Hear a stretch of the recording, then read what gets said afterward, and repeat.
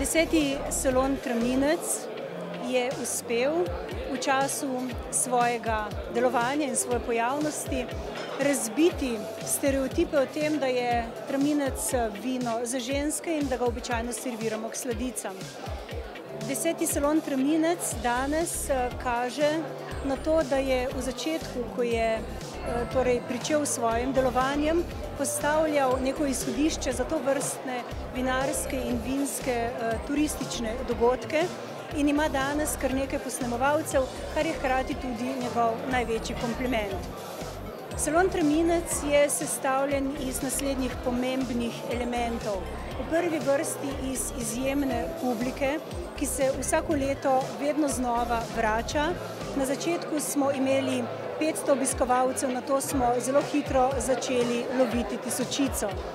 V desetih letih so vinogradniki, vinarji, vinoljubci ocenili in poskusili kakšnih dvanajst tisoč buteljk Traminca in najbolj pomembna v življenju so odhajanja in deseta obletnica je tista prelomnica, ko bo salon in mi, ki ga iz srca ljubimo in zanj skrbimo od začetka, premislil, kako dalje in kako naprej. Še enkrat iskrena in srčna hvala vsem, ki ste pomagali sooblikovati salon, da je zrasel v tak največji, še zmerom največji turistični, poslovno družabni dogodek v regiji.